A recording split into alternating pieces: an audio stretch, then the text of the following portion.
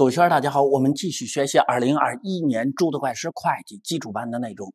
那下边我们看第五节所有者权益变动表。其实这个所有者权益变动表在前边第二十二章外币折算的时候我们已经见过了，所以在这儿我不再给大家展示那个表格。我们先看第一个标题：所有者权益变动表的内容及结构。首先，括号一讲的是所有者权益变动表的内容，它的目的就是反映。所有者权益各组成部分当期增减变动情况的报表，所以很简单。那么，所有者权益变动表的列示原则，首先明确一句话，就是在所有者权益变动表当中，综合收益和我们所有者或股东的资本交易导致的所有者权益的变动，应当分别什么列示。那么，在这里边，我们看一下什么叫与所有者的资本交易。就是企业与所有者换个词儿，股东，他以所有者身份进行的导致企业所有者权益变动的交易。比如说，前面在第十六章我们所有者权益那章就讲过，如果股东对你的捐赠很可能是资本性投入，那不是借银行存款贷资本公积股本溢价吗？这是第一个，第二个。所有者权益变动表当中，至少应当单独列示一些项目。第一个叫综合收益总额，这个综合收益总额如果是在合并所有者权益变动表当中，还应当列示归属于母公司所有者的综合收益总额和归属于少数股东的综合收益总额。这是第一个。那大家前边都已经说过了，综合收益总额不就等于净利润加上其他综合收益的税后净额吗？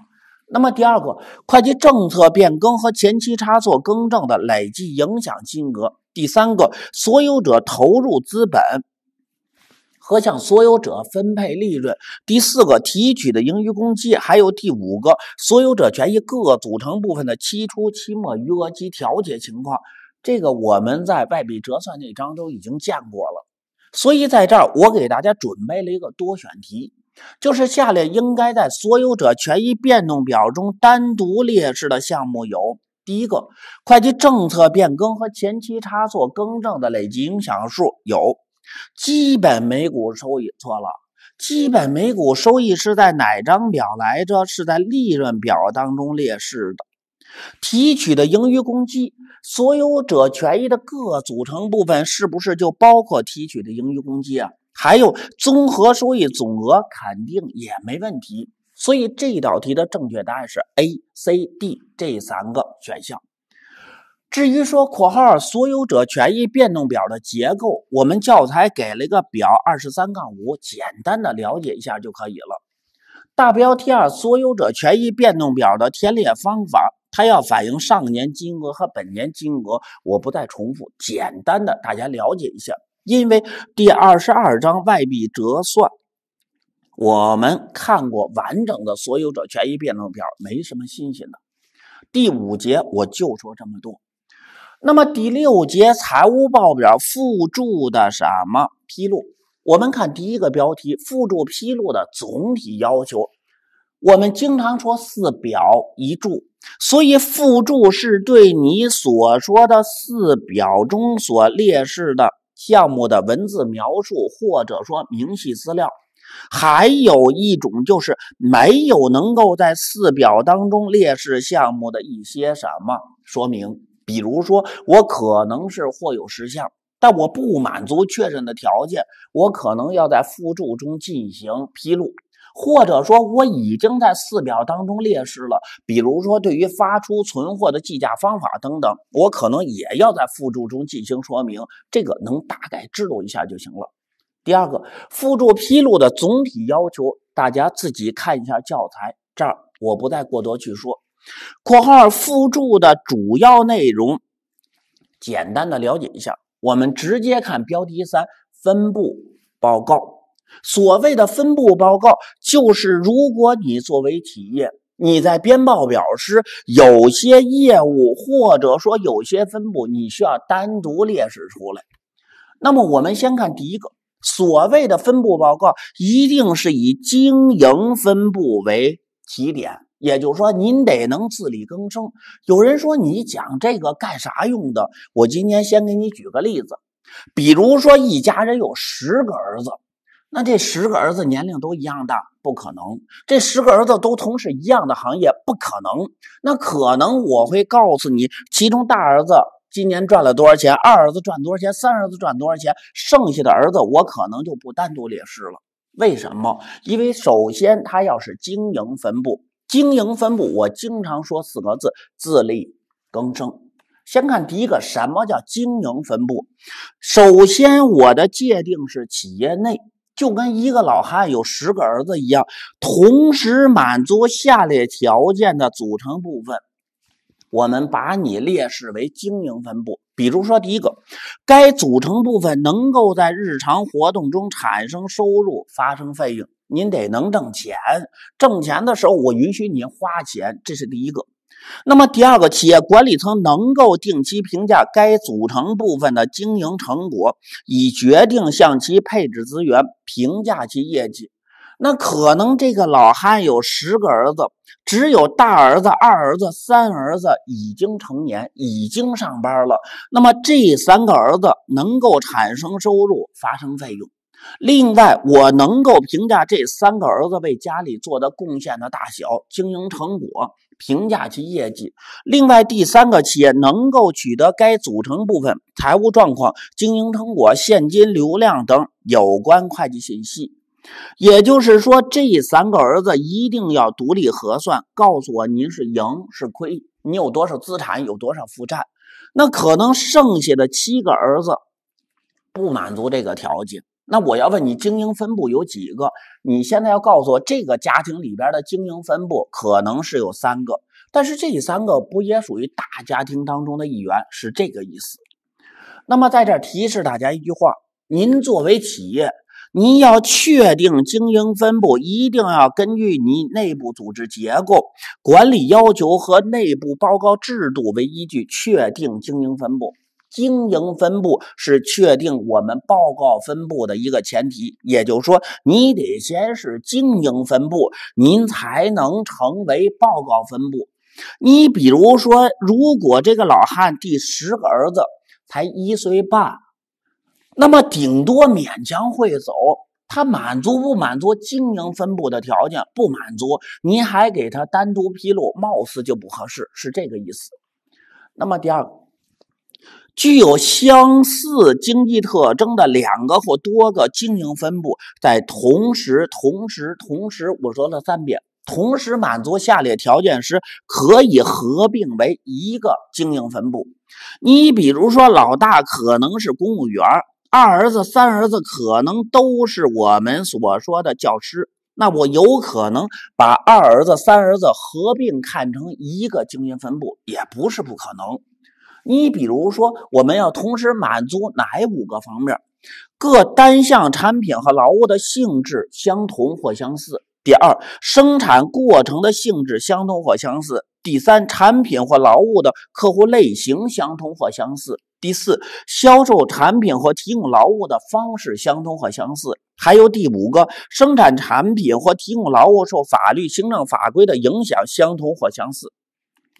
这些我有可能就把它作为一个经营分布。你比如说，我给你举个例子，假如说有个房地产开发企业，它既从事房地产开发，也从事我们所说的物业行为，那可能每一个地区的物业，每一个小区的物业，我都满足这三个条件。但是因为你是相同的，我有可能把好几个小区的物业公司给它合并成一个经营分布来处理，就这个意思。那么括号来了，报告分布，报告分布，首先你的前提是你得能自力更生、自负盈亏，能够给我提供你的相关信息，你成为经营分布了。才可能成为什么报告分布？报告分布是啥意思？人家将来编报表时会告诉你，我们家一共今年收入多少，成本多少，费用多少。其中我大儿子收入成本费用多少，我二儿子收入成本费用多少，这就叫报告分布。就是我除了说总的，我还把我认为重要的分布给他单独说一下。怎么就叫重要了？第一个重要性标准的判断，记住了是三个指标：收入、利润或亏损。您盈利赢得多行，您亏损亏得多也可以。还有一个资产，就是这仨，你任何一个占你家庭的比重比较大，能达到百分之十以上，我就可能把你的情况单独披露。就这个意思，您就可能成为报告分部。但是在这里边，我必须告诉大家一个事实：没有负债，没有负债，没有负债这个指标。所以在这他说了一句话：且应当以经营分布为基础确定报告分布。通常来说，你要不是经营分布。你只是一岁半的孩子，你不可能产生收入、发生费用。我会单独报告你吗？没意义，也不可能。所以经营分布是前提，成为经营分布了，才可能成为报告分布。满足下列条件之一的，应当确定为报告分布，并不是同时满足，是三个条件满足一个。第一个是我们所说的收入。该分部的分部收入占所有分部收入合计的百分之十或以上，那不就大于等于百分之十吗？很简单，就是大儿子产生的收入挣的钱占所有家庭他的收入比重大于等于百分之十，那不就说明大儿子很重要吗？那么我就可以把它作为报告分部来进行披露。只不过这儿所说的分部收入。不论是大儿子赚的收入，还是整个分部赚的收入，都指的是正常的营业收入，也就是对外交易的收入，或者说我把我的产品卖给其他分部的交易收入，就是指营业收入。那些杂七杂八的收入不算。什么叫杂七杂八的？比如说你这个分部有利息收入、股息收入，不算。有资产处置净收益不算，营业外收入，比如说捐赠利得不算，处置投资产生的净收益不算，还有权益法核算长投确认的投资收益，这些不能算你的分部收入。你是把这些收入剔除掉之后，用剩下的分部收入除以所有分部收入，你只要能大于等于百分之十，你就成为了报告分部。而且很光荣，说明你这为这个家贡献的成分很大。那么第二个，如果你收入没有占到大于等于百分之十，你这个分部如果是盈利的，那么我用你这个分部的利润；如果你这个分部是亏损的，我不能用你的亏损额吧？亏损是负的。我不能说用一个负数乘以一个数大于等于负的百分之多少。如果你亏损，我用的是你的绝对值。将来你盈利，比如说一百万，我直接用一百万除以。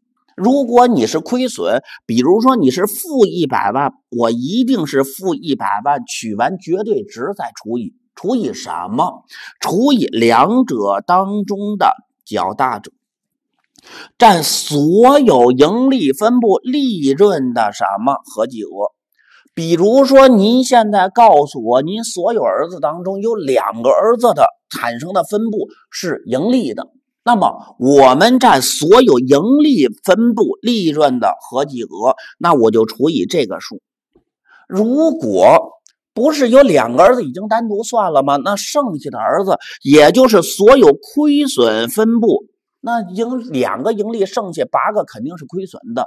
这八个亏损分布、亏损合计额的绝对值，两者当中的较大者，你只要能大于等于百分之十也可以。也就是说，你的分母先把你分布当中盈利的摘出来，所有这些盈利分布利润的合计额。再把亏损的分布摘出，所有亏损的利润的合计额的绝对值，这俩哪个大，哪个作为分母？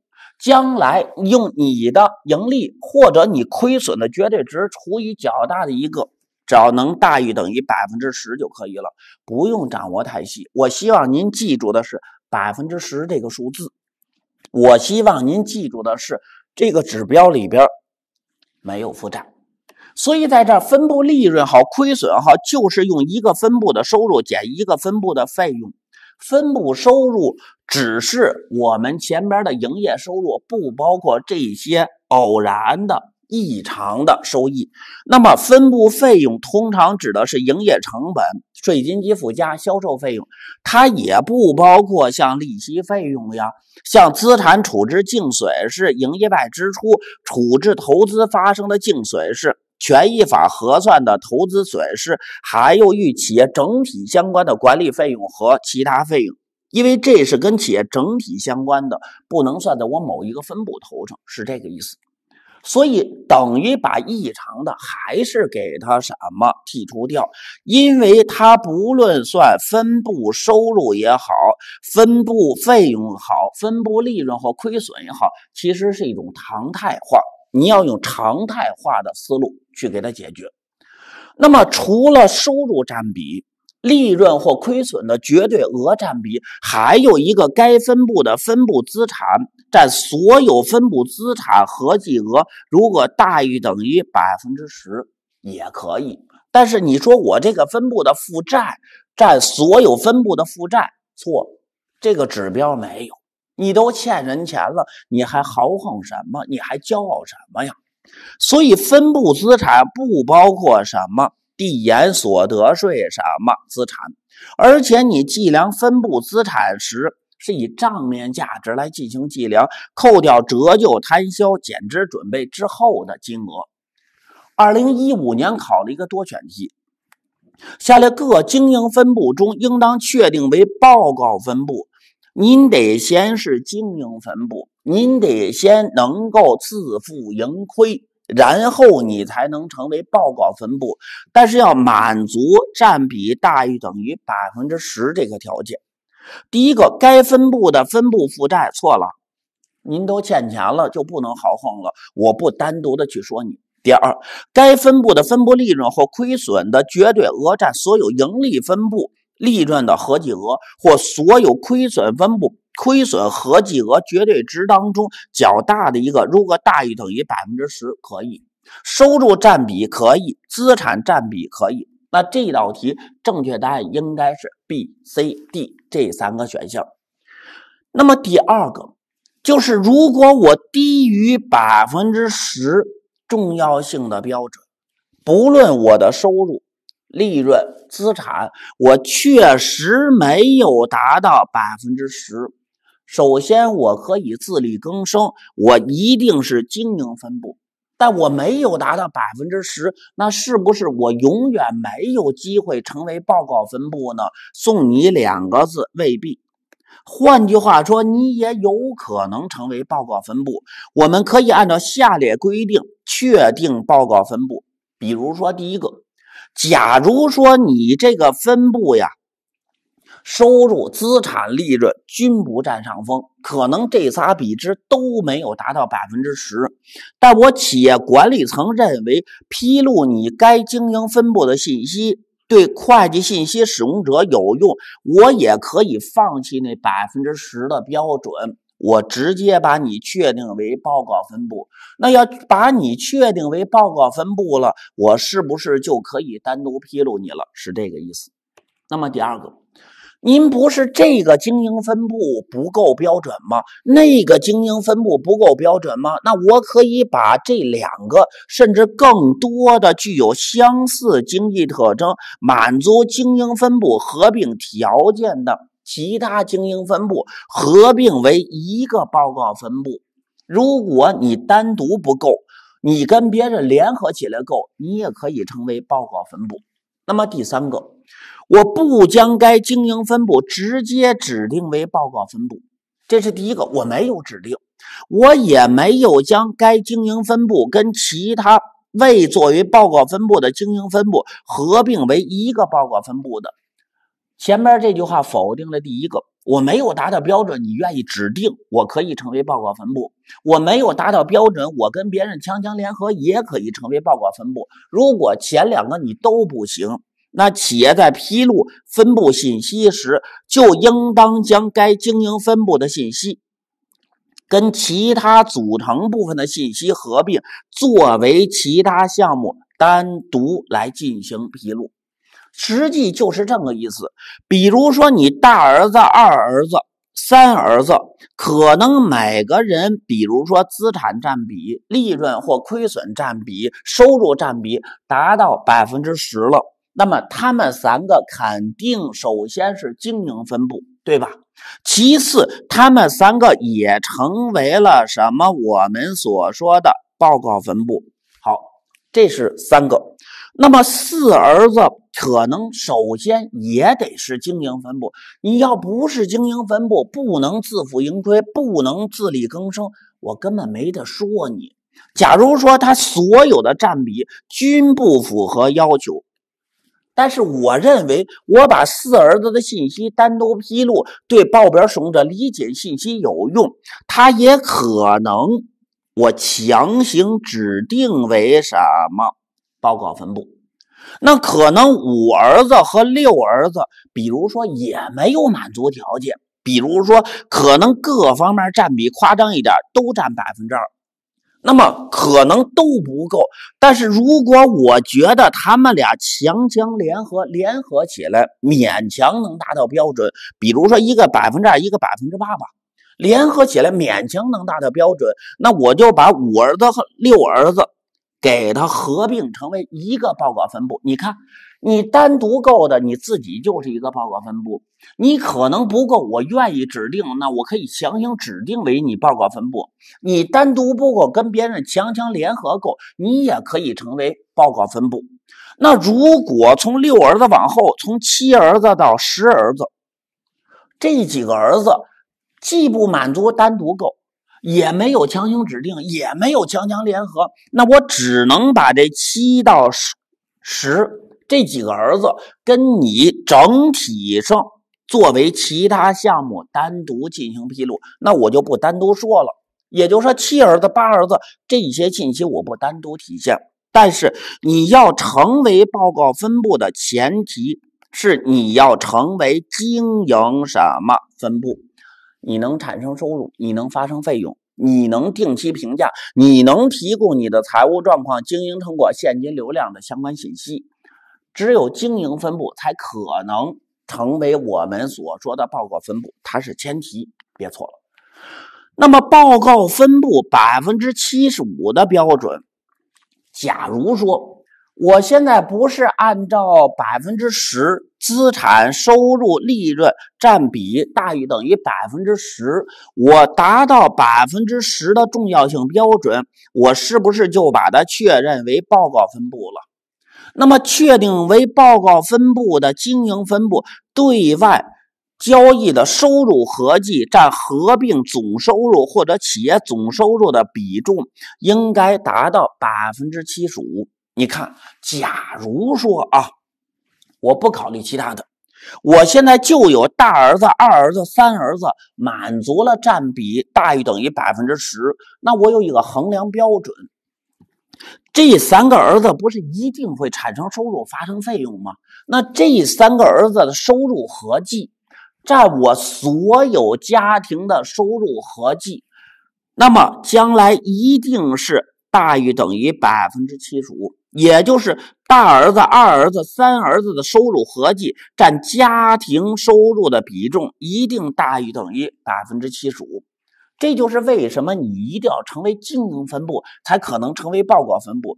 你要没有是经营分部，你十儿子才一岁半，他根本就不会产生收入。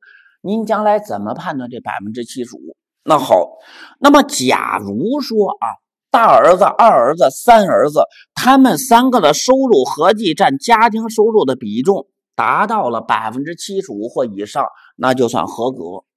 那么我就把大儿子、二儿子、三儿子给他确定为报告分部。所以你是先按百分之十的这个标准呀，给他进行初筛。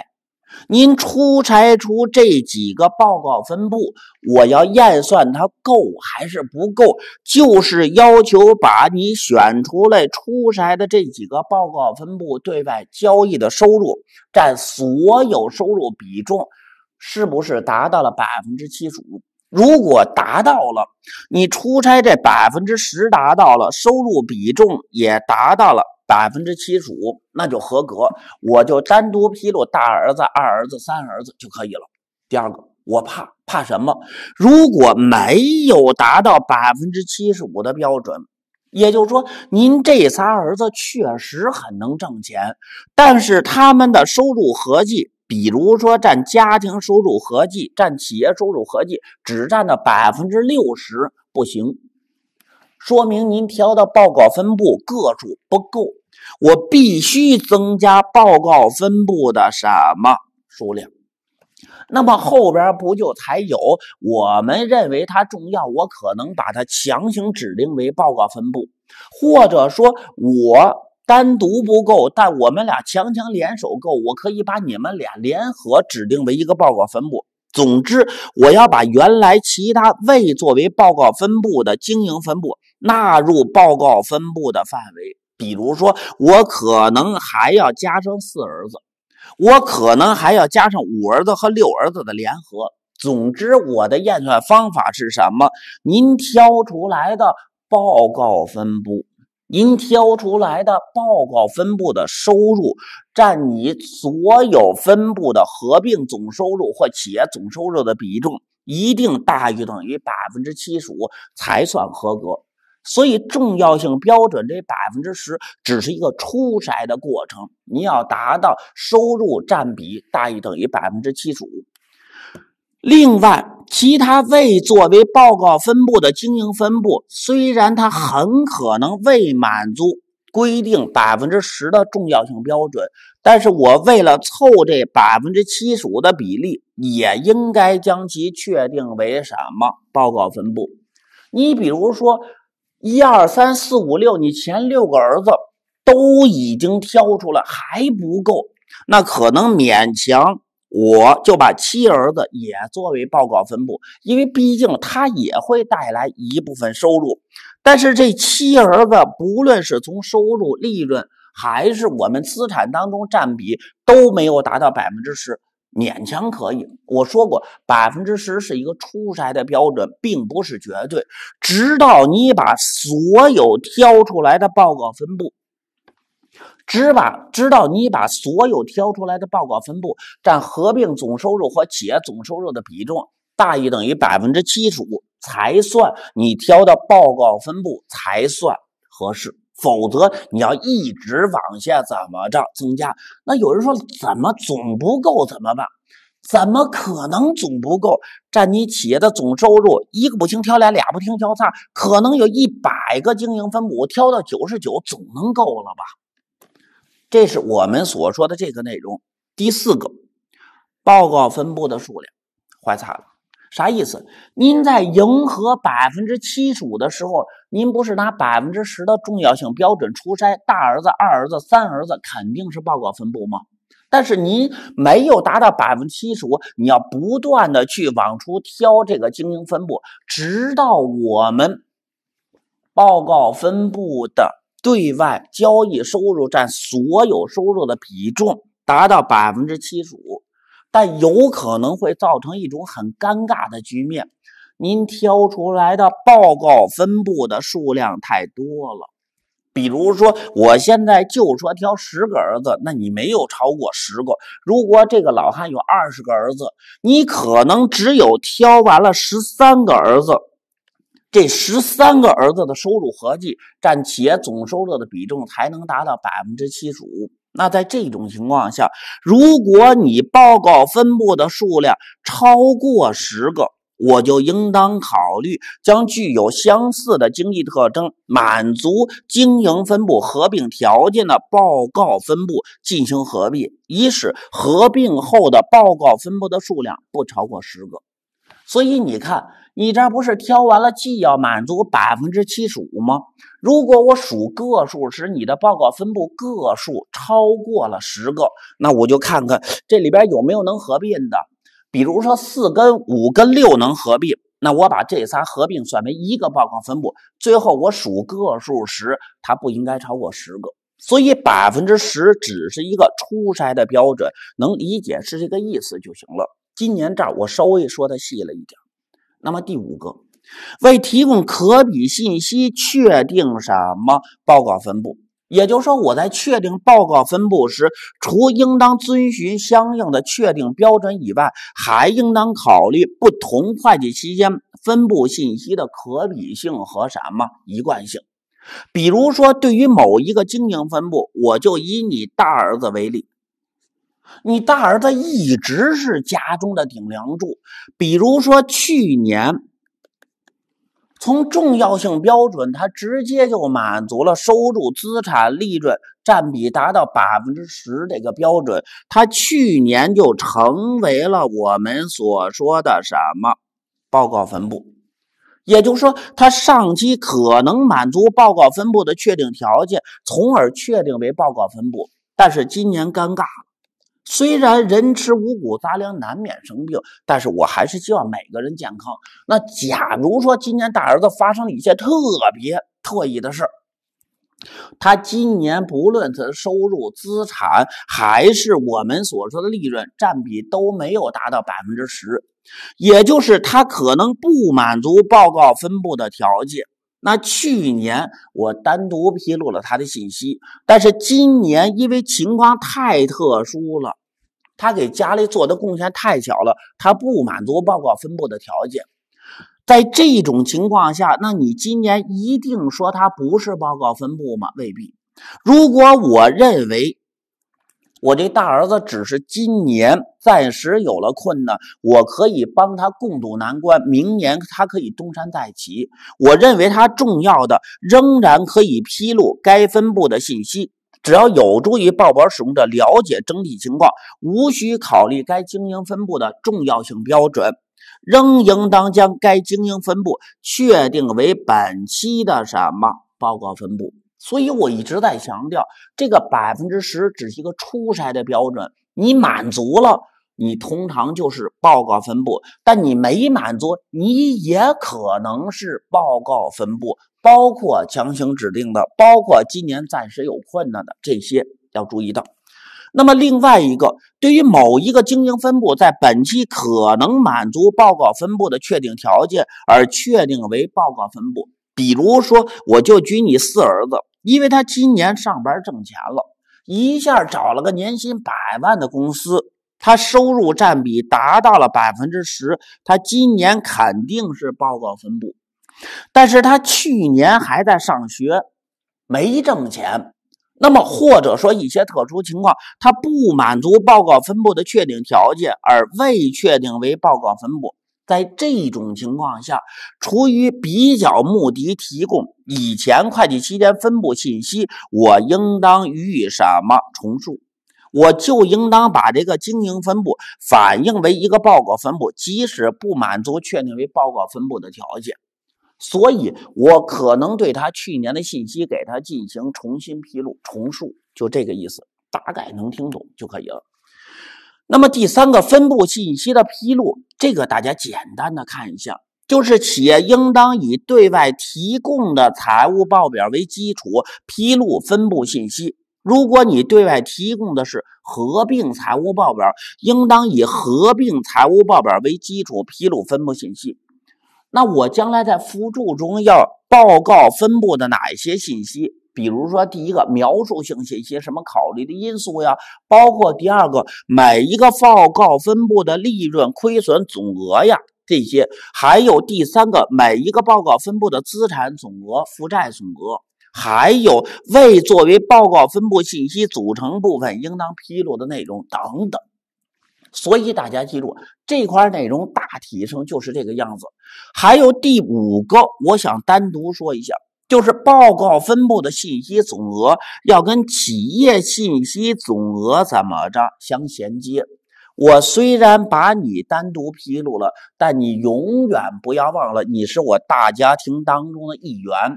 你的收入、你的利润、你的资产是我大家庭当中的一部分。那么，将来报告分布的收入总额、利润亏损总额、资产总额，甚至负债总额，都要跟我企业对应的总额相衔接，就这个意思。那么第六个比较信息，第一句话最重要。企业在披露分布信息时，为了可比起见，应当提供前期的比较数据。您记得不记得？您今年第一次成为报告分布，为了可比性，我可能要对去年的信息进行什么重述？所以在这儿他又补充说了一下：就如果对于某一个经营分布，如果本期满足报告分布的确定条件。也就是你后边，你这个儿子今年挣钱了，满足了报告分布，即使前期没有满足报告分布的确定条件，而未确定报告分布，也应当提供前期的比较数据。但是重述信息不切实可行的除外，就是你去年没有单独披露，你今年单独披露，要把去年属于这个报告分布的信息给我抓出来，单独的说一下。那么，企业如果内部组织结构改变导致报告分布组成发生变化的，也应当提供前期的比较数据，除非不切实可行。另外，企业未提供前期比较数据的，应当在报告分布组成发生变化的当年同时披露新的报告分布和旧的报告分布为基础的分布信息。所以我们强调两个字：可比。好，看完这个内容，我们看二零一二年的一个多选题。下列各项关于分布报告的表述中正确的有。A 企业应当以经营分布为基础确定报告分布，这肯定没毛病。你得先是经营分布，能产生收入、发生费用，能对你进行定期评价，能提供财务状况、经营成果、现金流量的有用信息，你才可能成为报告分布。那么，企业披露分布信息时，无需提供前期比较数据，错了，应当提供。第三个，企业披露的报告分布的收入总额应当跟企业收入总额相衔接。没错，收入总额、利润亏损总额、资产总额，甚至负债总额都要跟企业对应的总额相衔接。第四个，企业披露分布信息时，应该披露每一个报告分布的利润总额及其组成项目的信息，这是没毛病的。所以这道题的正确答案是 A、C、D。